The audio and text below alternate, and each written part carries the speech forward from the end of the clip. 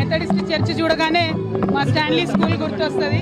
మేము ప్రతిసారి కూడా ఇక్కడికి వచ్చి సెలబ్రేట్ చేసుకునే వాళ్ళము. స్కూల్ డేస్లో మామూలు డేస్లో కూడా ఇక్కడికి వచ్చి హిమ్స్ పాడి సెలబ్రేట్ చేసుకున్నటువంటి రోజులు గుర్తొస్తున్నాయి. మంచి ఇన్స్టిట్యూషన్ మెథడిస్ట్ అట్లానే స్టాన్లీ సో ఇంకా ఇన్స్టిట్యూట్స్ వర్దిల్లాలని చెప్పి ప్రజలకు పిల్లలకు మంచి డిసిప్లిన్ నేర్పించాలని చెప్పి కోరుతాం. థ్యాంక్ యూ జై తెలంగాణ. అందరికీ నమస్కారం. తెలంగాణ ప్రజలందరికీ కూడా క్రిస్మస్ పండుగ సందర్భంగా శుభాకాంక్షలు తెలియజేస్తా ఉన్నాను. క్రిస్మస్ పండుగ అంటేనే దేవుడు మన కోసం కిందికి దిగి వచ్చి మన కష్టాలను పాపాలను రూపుమాపి మన కోసం పనిచేస్తాడనేటటువంటి ఒక మంచి మెసేజ్ ఇచ్చి ఒక భరోసాని ఇచ్చేటటువంటి మంచి సందర్భం. అందరి మనసుల్లో హృదయాల్లో సంతోషాన్ని నింపేటటువంటి సందర్భం.